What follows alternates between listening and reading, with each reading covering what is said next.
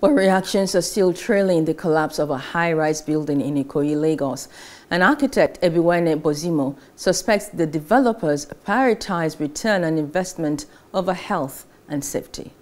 Simply a case of ROI taking precedence over HSE, health, safety, and environment was considered less important than return on investment there's a piece of paper going around suggesting that the building had been approved for 15 stories.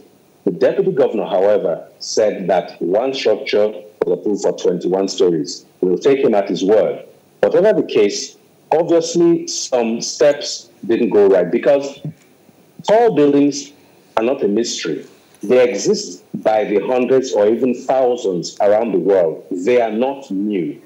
It is about the processes and the degree of diligence required when you are doing a building of such significance and social consequence. So, corruption exists all over the world, but people, even in their own enlightened self interest, ensure that they follow the steps.